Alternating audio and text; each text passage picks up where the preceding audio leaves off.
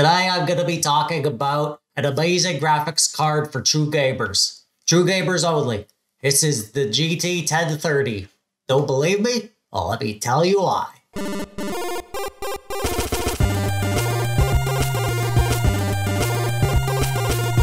Hi everybody, TechDweeb here.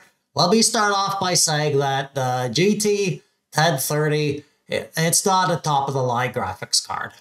It's not a bottom of the line graphics card, but it's not going to knock your socks off.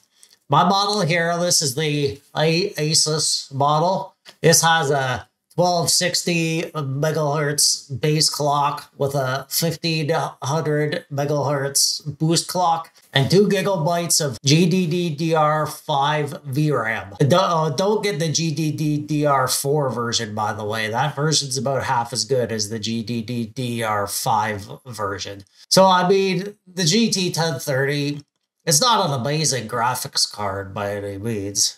So, how could I say that it's a card for true gamers? Well, think about this. So, the GPU market is all weird right now. All the good graphics cards are being bought up by scalpers who just buy up stuff and then sell it at a higher price. And they're being bought up by the miners too, who buy like dozens of graphics cards because they can make money off them by using them to make crypto coins with silly names. Even the used GPU market is pretty bad right now. You can't get new graphics cards. You can't get old graphics cards. You can't get, even get graphics cards from like five years ago. Just everything's all crazy right now if you want to buy a graphics card to play some games. And that's what gamers want to do. They just want to play games. And that's where the GT 1030 comes in. Because the miners don't want it. They can't make enough poop coins using a card this weak. And the scalpers can't sell it to miners, so they don't want them either. The GT 1030 is like the only new card you can actually buy right now that you can actually play games on. And the GT 1030 can play games. It can play lots of games. You can overclock it to get some better performance, but you don't have to. Out of the box, it can play pretty much any game. It plays old games really well. It plays new games not as well. I mean, it runs fine. You'll have to turn down the graphics to medium or low and the resolution down to 900p or 720p.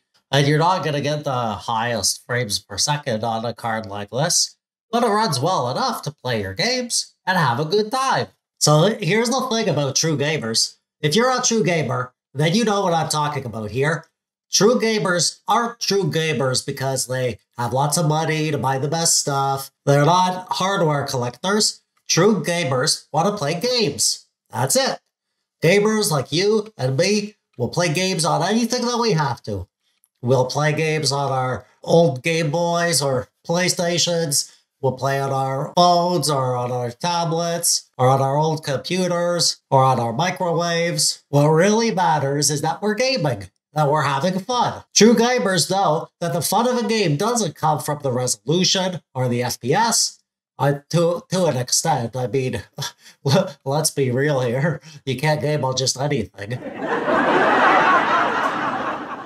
well, the GT 1030 isn't just anything. It's a card that plays games. It has updated drivers, and with a few exceptions, this card will play any modern game. If you turn down the resolution or the textures and deal with a lower FPS than you might want at the start, you'll forget about the graphics really quickly when you're playing the game and having fun.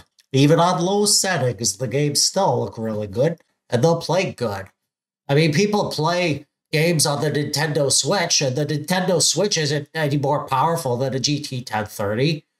And the most important thing, here it is, is that you can buy this graphics card. It hasn't been gobbled up by scalpers and miners.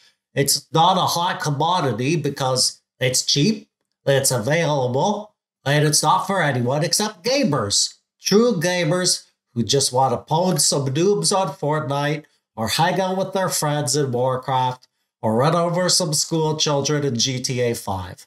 So that's why I think that this card is really for true gamers only.